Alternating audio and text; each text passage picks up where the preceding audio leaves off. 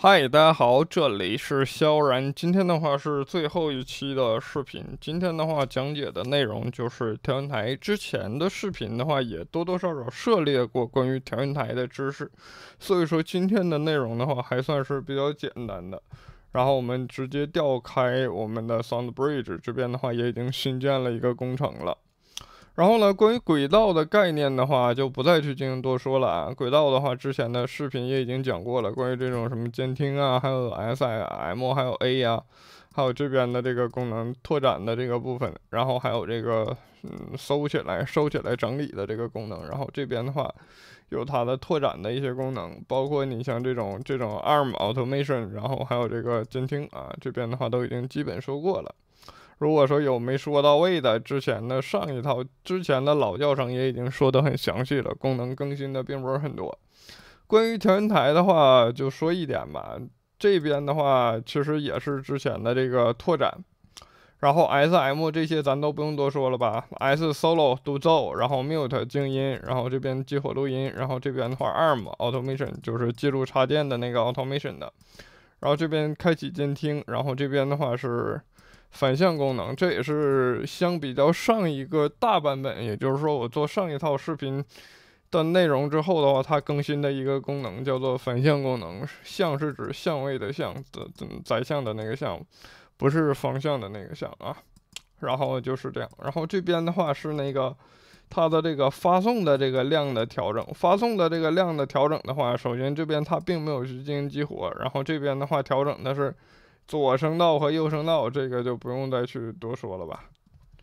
然后基本功能的话就是这样。如果说你做一个小小型的分轨的话，我们可以去往左边掰一点啊，往右边掰一点啊，这是这一款软件。然后这边的话，这边的话它是一个发送的旋钮。发送的旋钮的话，我们首先先要去进行一定的发送。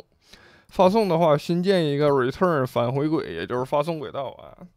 然后我们就是写一个 send，然后就是创建了一个轨道，轨道上面的话有一个 send 啊，看到了吧？这边的话是一个 send，然后这边的话 return 返回到哪个返回到哪个轨道呢？返回到这个 send 轨道，然后我们直接可以把这个部分啊，这边看到了吧？发送到 send 这个轨道。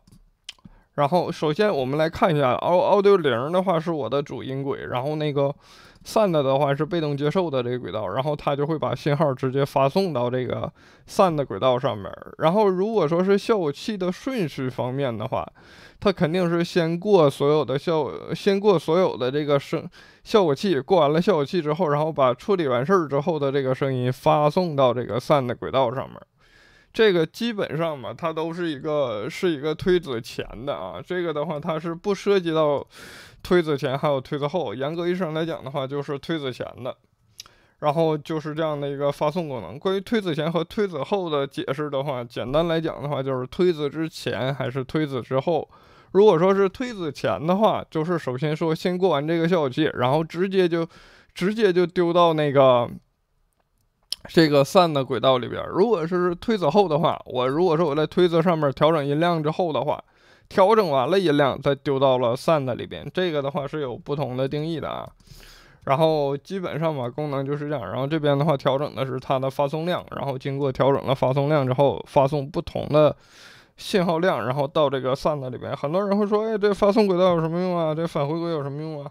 如果说你是第一个轨道要用到这个混响，第二个轨道要用到这个混响，第三个轨道还用到这个混响的话，那么我们可能会省节省一定的资源。然后呢，你你也不需要每次把所有的混响啊等一些插件调整的结果和和之前调整的一致，对吧？因为你是发送的嘛，只要是调整一下发送量即可。这样的话，既能够节省我们电脑的 CPU 资源，又能够。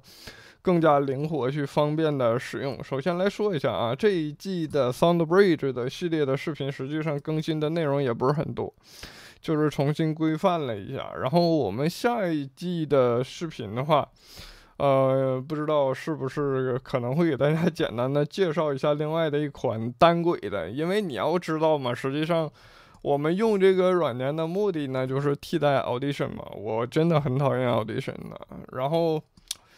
多轨的底下的话，我们可以用这款软件去进行替代我们的 Audition。然后单轨的模式，你要知道 Audition 的优势就是在于单轨的编辑，对吧？